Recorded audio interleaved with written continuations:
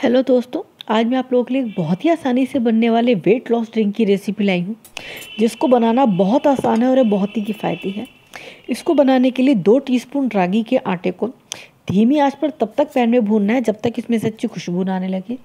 रागी का जो आटा होता है उसमें बहुत अधिक मात्रा में कैल्शियम होता है डायबिटीज़ कंट्रोल करने में हेल्प करता है और वज़न घटाने के लिए बहुत बढ़िया चीज़ है, क्योंकि उसमें बहुत ज़्यादा फाइबर होता है। एक बार जब ये आटा अच्छे से भुन जाए तो इसको एक मग में निकाल लेना है।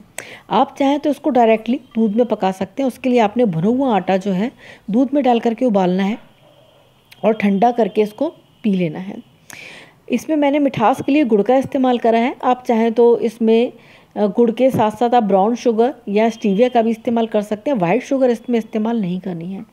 पहले मैंने थोड़ा सा दूध डाला है और उसको अच्छे से मिक्स करा है ताकि इसमें कोई गांठ ना रहे।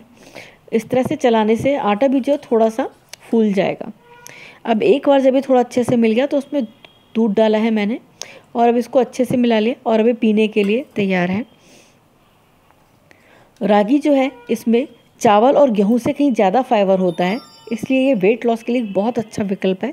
यदि आपको वीडियो पसंद आ रहा है तो कृपया इसको शेयर करना ना भूलिए। धन्यवाद।